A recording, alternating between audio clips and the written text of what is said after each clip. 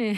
6369님. 회사 동료 중에 또래가 있는데요. 어. 분명히 저는 저랑 썸 탄다고 느꼈거든요. 어. 근데 제가 주말에 나랑 바다 보러 가자 했더니 그냥 친구들이랑 가지 그래.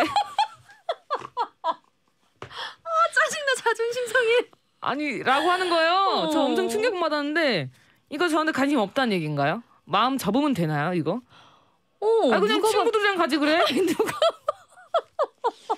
야 근데 그분도 대단하시다. 예. 야 친구들이랑 가래 그냥. 음, 제가 봤을 아. 때는 그냥 예. 마음을 예. 접, 접을 수 있다면 빨리 접는 게 좋을 것 같아요.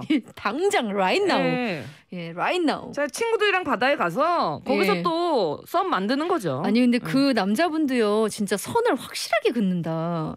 그러니까 여지가 아니잖아. 이거는 음. 그냥 친구들이랑 가. 음. 아니면 만약에 내가 마음이 있다 그러면 어 그럼 내가 뭐 스케줄 한번 음. 알아볼게라고 정도라도 할 수 있는데 아니면 다른 친구 몇 명 모아서 가자. 뭐다 이렇게. 같이 가자 어. 이런 걸 수도 있는데 그냥 친구들이랑 가지 그래? 아, 니네 친구들이랑 가지 그래 왜 나한테 그래? 아 어떡해 가지 그래가 너무 너무 너무 벽이다. 가지 그래 그래 왜 그래? 이거 그냥 문 잠근 거야 어. 문 잠갔어요 그러니까 예. 가지 그래 그래는 너 왜 그래? 너 뭔데 그래 나한테 너 뭐야 너 이거? 어 죄송합니다 아, 6369님. 어떡해. 아니 근데 아닌 건 빨리 접어야 돼. 맞아요. 괜히 혼자 마음 고생하지 마요. 맞아요, 이거는 맞아요. 진짜 우리 6369님을 위해서 하는 얘기고. 맞습니다. 아, 이 사연은 진짜 좀 착잡하네요. 네. 이거 갈까요?